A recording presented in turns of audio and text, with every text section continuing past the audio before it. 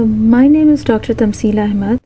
I'm an endocrinologist and I'll be talking about ultrasound guided thyroid biopsy. First, a question that many people ask is why, why do I need thyroid biopsy?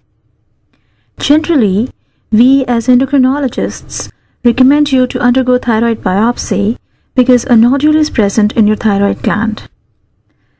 That nodule may have been discovered by physical examination, mainly by palpation, or may have been visible on some other sorts of imaging studies such as ultrasound. How is a thyroid biopsy performed? And I will talk to you about how we perform thyroid biopsies in our clinical setup. There are variations that you should know about. We usually do all our thyroid biopsies under ultrasound guidance. There are numbers of reasons for this. Obviously, if nodule is visible best or only on ultrasound, then using ultrasound for guidance makes sense. First, it lets us perform very thorough sampling of many different aspects of the nodule. Second, it's important to target where we want to target and to avoid the structures that we want to avoid, specifically carotid artery and jugular vein, which is which are there next to the thyroid gland, and avoiding them is quite easy when using ultrasound for guidance. Uh, first of all, we position the patient on his or her back, the neck extended slightly. The skin is clean, made nice and sterile. Use local anesthetics to numb the area. And then, under, uh, under ultrasound guidance, we take samples through the nodule of interest through a very tiny needle that's actually the same that the blood get drawn with. Well, the size of the needle is again very important. The needle size used for FNAC of the thyroid ranges from 21 gauge to 25 gauge. The larger the needle, the greater the chance of obtaining bloody material and the greater the pain caused by the procedure. If we take a smaller needle, the greater the chance of uh, obtaining dry aspiration. Moreover, intact cell groups can be gained less frequently with smaller needles. A disposable needle is attached to a disposable 5 to 10 ml syringe placed into a special pistol grip. The only relevant advantage of a larger syringe over the smaller one is in cases of thyroid cyst containing more than 10 ml of fluid.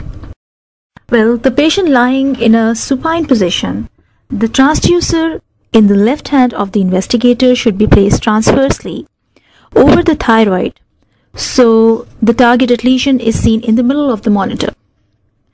Thereafter, the needle is inserted at the midpoint of the transducer and during the puncture, the needle is guided parallel to the transducer. The investigator observes on the monitor when the tip of the needle appears as a small hyperechogenic echo and it's a very nicely done echo which you can see visible on the on your ultrasound machines. After aspiration has been performed, the needle is disconnected from the syringe and the syringe is filled with air.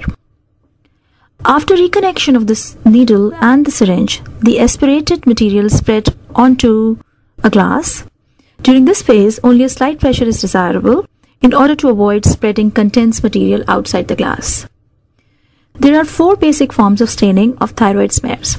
RAPI is the first one by which the histopathologist checks whether the sample is enough or not.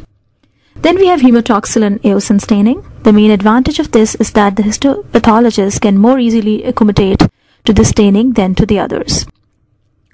The last two, Giemsa and Pap methods, are the standard methods for thyroid smears. Giemsa is superior to the Pap in the demonstration of cytologic features. However, the only situation where Pap method is clearly superior is the demonstration of the nuclear detail and particularly the presence of nuclear grooving. Patients were fearful of biopsy of any sort or wonder will it hurt. There will be a little bee sting during the procedure, during the local anesthetics, but after that there should be no sensation but a little bit of pressure after after that many folks don't know when the local anesthetics wear off other might feel just a little bit of soreness at the biopsy site or a bit of sore throat like they're developing a cold but that only lasts for a few hours and goes away on its own. But like other procedures, any other procedures, there are recognizable side effects in some cases. Pain. Uh, this is uh, a kind of a discomfort which is uh, mentioned, and serious pain, sometimes lasting for only a moment, is observed in roughly 1% of the patients. Patients attending follow up examinations occasionally mention pain lasting for days or even weeks after FNAC of the thyroid. We cannot relate the presence of pain to any disease entity. Hemorrhage. Very infrequently, a subcutaneous uh, hematoma occurs following FNAC of the thyroid. To avoid hematoma, it is essential to press onto the side of the puncture for at least 2 to 10 minutes immediately after FNAC. Puncture of the small veins. This side effect cannot be avoided. It occurs in approximately 2% of the patients. Again, immediate pressure on the site of the puncture is essential to avoid causing unpleasant local hematoma. Puncture of the trachea.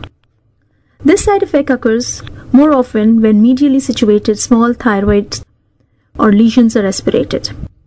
In our uh, in in earlier practice, this occurred once in about 200 to 300 FNACs, but after the introduction of ultrasound, this side effect no longer occurred. When a trachea is punctured, the patient immediately coughs. There are no other consequences. Naturally, the, patient, the, the material obtained after such a puncture is not suitable for cyt cytological diagnosis. Ultrasound guided thyroid biopsy is quite an accurate test. We would like to say that it is 100% accurate, but there is no such thing in medicine. There are certainly instances when, despite taking several samples of a thyroid nodule, the pathologist cannot come a conclusive diagnosis. Either uh, there is insufficient sample under the microscope, or sometimes the region is clouded by red blood cells. Conversely, there are instances when pathologists can make a diagnosis, but it ends up being a borderline precancerous condition and under those circumstances they might, they might recommend patients undergo surgical removal. Many patients wonder why don't we remove the nodule in the first place? Don't all nodules need to be removed anyway? That's not the case. The vast majority of thyroid nodules turn out to be benign. So removal of those nodules is not necessary. Only making the, that diagnosis or making that certain that it's benign and not cancerous. That's the important part that can be easily accomplished in most instances with an ultrasound guided biopsy. Are there any alternative to ultrasound guided biopsy? There are some imaging studies that can be done. In nuclear medicine scanning, uh, we can go for uh, thyroid radioactive thyroid scanning, which can show the, the the nodules, whether they are hot or cold or they are the same of the other other part of the thyroid gland. Then there are surgical removals that can be accomplished as well. I hope you found this info informative and I hope it answers some of the questions that may have had about ultrasound guided thyroid biopsy.